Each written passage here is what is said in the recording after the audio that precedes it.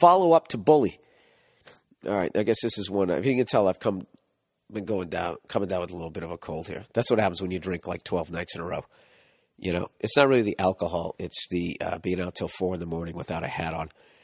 Uh, follow up to bully. Hey there, Billy Redface. This is a follow up to the email I sent about getting picked on. Oh, this was the big dude, right? The big dude at school who could do something. He's at the dojo and all that, but didn't want to do something because he didn't want to dis- disappoint his senseis. If I'm using the right karate lingo, uh, if I'm not, I mean, I, I my apologies. Anyways, he said it went a lot better than I expected. Oh, to give you a recap, this guy was like a big guy and there was some short of fat kid that was always coming up slapping him in the head at school.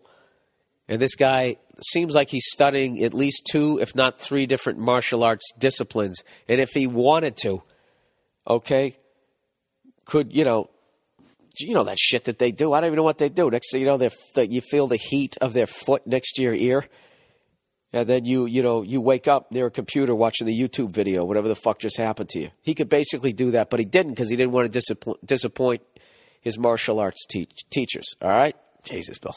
All right, here we go. He said it went a lot better than I expected. I told one of my martial arts teachers, and he basically gave me a green light to whoop this kid, but not too bad. No broken bones except maybe the nose. Oh, I love this guy. This guy's old school. He said, I walked into the locker room and he greeted me with, Hey, faggot fuck. Um, I replied with, I hear your birthday's coming up. What's your cup size? He got pretty mad and said, What'd you fucking say? I said, Your cup size, you fat fuck. What is it? I love it. Did you see the fucking bitch in him coming out? He said he walked at me and swung a haymaker. I took it on the chin. Jesus Christ, you didn't slip it? He said, I beat the shit out of this kid. Well, it's good because he took a swing first. Very nice. He goes, I need him in the belly twice, once to the head.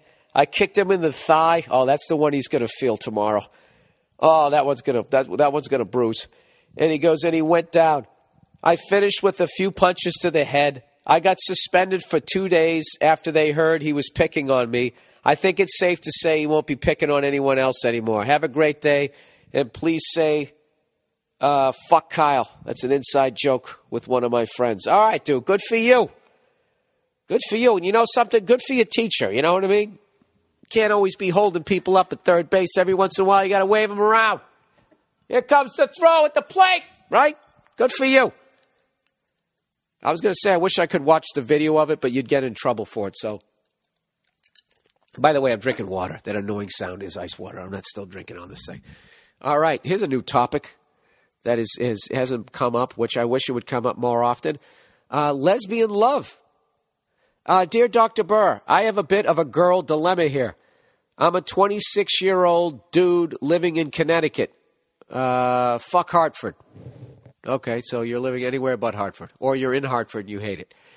He said, I met a girl oh, wait a minute. If this is coming from a guy, all I see is threesome on the horizon. All right.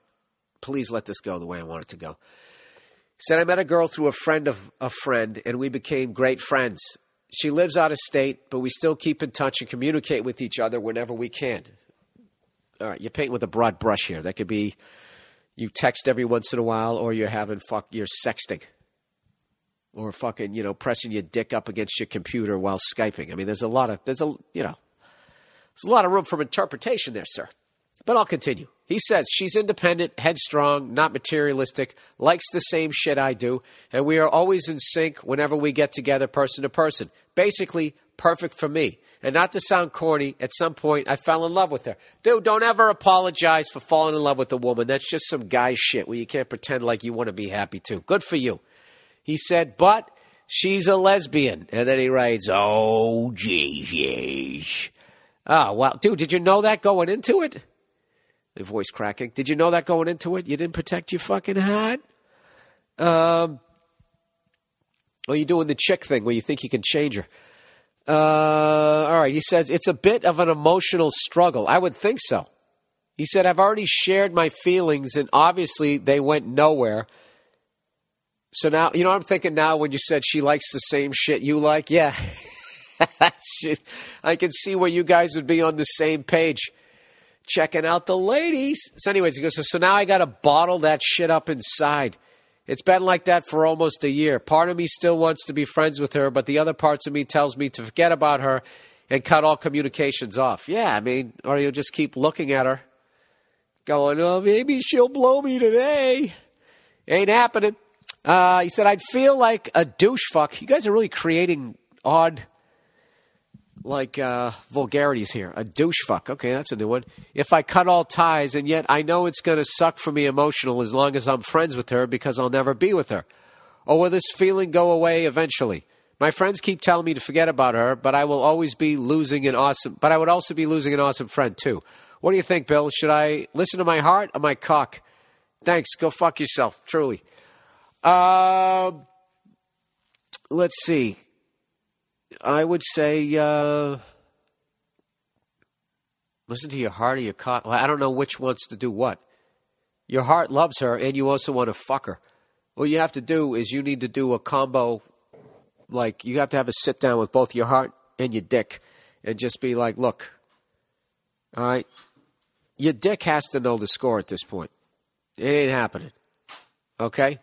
Your dick probably already has its fucking helmet off, it's taking its tape off and all that shit, but your heart, you know, I don't know what your fucking heart's doing. Listen, dude, I'm sorry, I'm buzzed here. Uh, what do I think you should do? Uh, yeah, I think you should you should just walk away. You got to walk away, and you got to be into some other chick first, and then maybe you can start to be friends again. But uh, yeah, it sounds like you've been a sad puppy dog with blue balls for a year, and I'd say you've, uh, I think you've done your penance. You know, why don't you go into the uh, the open lane? Why don't you do that? I just opened the register. Can I, can I have the next customer, please? Go into that fucking line. All right. Oh man, that sucks. I feel bad for you, dude. What are you going to do? You know, I saw the other day on the cover of ESPN, ESPN magazine, they had one of those UFC chicks, like totally naked, but with their fucking, her goddamn hands wrapped. And uh, I got to tell you something, man. I think those those women are hot. They are fucking hot, and I think it would make you a better person if you could date if you went out with a woman that could beat the shit out of you. Just because it would it would it would force you to be smarter. The only reason why women are smarter than us is because, basically speaking, we can fucking stuff them in a hamper if we want to. So they have to outsmart us. So from day one, they're using their fucking brains. Where we're just sitting there going, shut up, you know, using force. There's nothing. We're all fucking knees and elbows. So what would happen is, is you would gain the wisdom of a female by kind of being the bitch in the relationship in that, you know, she could fucking slap you around then you could learn to use tricks like guilt. You know, who knows? Maybe she'd go out and get you a pair of shoes. Right? I'm sorry, so sorry that I put you in a Kimura. Um, I've been meaning to watch that UFC show where they have the women in the house.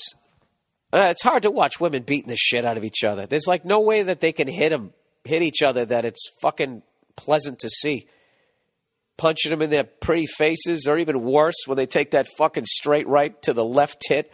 It's just like, what are you doing? You know, I might be misogynistic here, but I just look, that's like for a baby.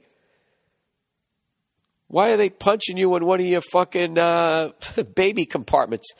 I really am a moron. I admit it. You know, whatever. That's just how I look at it. I'll tell you what, at least I'm honest. At least I'm honest. That's when you know you said some ignorant shit and half the party's walking away from you? Hey, hey, hey, hey, you know, I say what's on my mind. I say what's up. Well, maybe sometimes you shouldn't. All right, here we go. I work in hell with no escape. Hey, Billy Redbeard, the pirate. I am a police officer in a town in New Jersey where I am an 11 year veteran. All right, hang in there, dude. You're over the hump. What do you need, 20 years? I said, keep it moving. You got to do that for another nine years. Uh, the department I work for abuses those of us who have too much self respect to kiss ass. All right. Now, I'm not trying to be a dick, sir, but you've already painted yourself as the hero here. All right, but I'm going to believe you. Okay? I'm going to believe that you actually do a good job, and the reason why they don't like you is not because you're fucking uh, being a cunt. It's because you don't kiss any ass. All right? I'm going to go with that. He said it's gotten so bad that they suspend and even try to fire guys who don't bow down and kiss the ring. It's the very definite definition of a hostile work environment. And I'm terribly stressed out about the situation. Now, you may be asking yourself, is it so bad? Why don't you move on to another police department? Thank you, sir, for giving me the credit for being that intelligent to have that thought. Unfortunately, I didn't. I was immediately thinking that you should get together with some other your friends and become the Serpicos out there. You know, and maybe D Pants your fucking uh, CPO, whatever the fuck his name is. You know, start hazing him.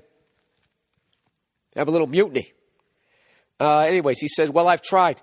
But the great, the great fucked up state of New Jersey has a rule that says if, if I transfer to another police department, both the department I work for and the department I want to go to have to approve and sign off on the transfer. I was this close to getting hired by another department and was denied the transfer by my current police chief, or as I call him, Satan. Apparently, they can do that. I hate stress, but I have bad dreams about the place and it affects my mood when I think about it, even when I'm off. My question to you is if I am stuck in the worst work environment imaginable, how do I shake off the bullshit and not worry? Thanks for all the laughs, and I underestimated your ticket selling ability in New Jersey. I was a little late trying to get t- uh, tickets to Red Bank. Oh, you know, that's not that big a place, sir, um, but I appreciate the compliment. Um, all right. Well, here's the deal you can't ever let some other cunt affect your happiness happiness. happiness. All right? It's all going to come down to how you choose to react to what it is he's doing. That's the first step. All right? I mean, I know this is a completely different scenario, but I remember uh, I used to live above this fucking angry old man. And he used to always yell at me every fucking thing I did. My old apartment, you know, and I'd drop his cell phone. He'd keep it up do it again, all that shit. And he yelled at Nia and all that shit. So I um, I just started hitting him with positivity. You know, me and Nia just started acting like he was attractive. I just walked by, I'd be like, hey, what do you say there? Good looking. She'd whistle at him like he was sexy. And it kind of brought him around in some weird way. Now, I don't know if you can do that can you do that? Can you fuck with your, your superior officer like that when he comes in and he's a cunt to you and just, just be, hey, hey uh, Sarge, have you been losing weight? You're really filling out that uniform quite nicely. Just keep doing that